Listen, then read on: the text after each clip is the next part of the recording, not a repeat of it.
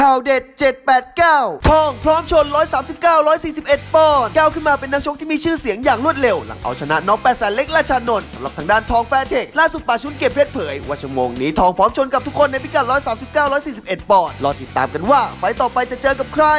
เสี่ยโบ๊ทมั่นใจพิรพัฒน์เพชรพันล้านเบียดถึง เงิน โปรโมเตอร์นัทเดชวชิระรัตนวงศ์ออกโรงการันตีคู่มวยระหว่างพิรพัฒน์มวยเด็ด789กับเพชรพันล้านไฟเตอร์มวยไทย ซึ่งจะขึ้นชกเป็นคู่ประกอบรายการศึกเพชรยินดีเงินล้านวันที่ 5 กันยายนนี้ เป็นคู่มวยที่มีเสน่ห์เกมการชกต้องออกมาอย่างสนุกเร้าใจแน่ทั้งคู่เป็นมวยแข็งแกร่งอาวุธหนักรุนแรงรูปร่างช่วงชกใกล้เคียงกันเชื่อว่าเกมการชกต้องเบียดกันอย่างสนุกพลิกไปพลิกมาถึงเงินถึงดีการแน่แฟนมวยคอมวยห้ามพลาดเด็ดขาดยอดพนมรุ้งโหมฟิตตอกแค้นแสงมณียอดพนมรุ้งจิตเมืองนนท์ไม่ประมาทแต่อย่างใดโหมทำการฟิตซ้อมอย่างหนักก่อนที่จะขึ้นเปิดโอกาสให้แสงมณีแสงมณีเสถียรมวยไทยยิมได้ขึ้นชกล้างตาอีกครั้งในศึกจิตเมืองนนท์วันที่ 12 กันยายนนี้ณเวทีมวยราชดำเนิน พร้อมแสดงความมั่นใจในความแข็งแกร่ง ต้องตอกย้ำแค้นได้อีกครั้งแน่ ขอให้แฟนๆ ไปติดตามกันได้ รับรองเกมเดือดเร้าใจแน่นอน ปีใหม่คัมแบ็กแจ้งเกิดเมืองกรุง อดีตแชมป์วิกเจ็ดสีปีใหม่เอราวันหลังจากที่หายหน้าหายตาจากเวทีมวยในเมืองกรุงไปนานหลายเดือนก็ได้คิวคัมแบ็กอีกครั้งขึ้นชกเป็นคู่เอกนำรายการศึกช้างมวยไทยเกียรติเพชรวันที่ 1 กันยายนนี้กับนลินเดชกอแสงจันทร์ในพิกัด 119 ปอนด์โดยล่าสุดทางด้านปีใหม่เผยสภาพร่างกายตนเองไม่มีปัญหา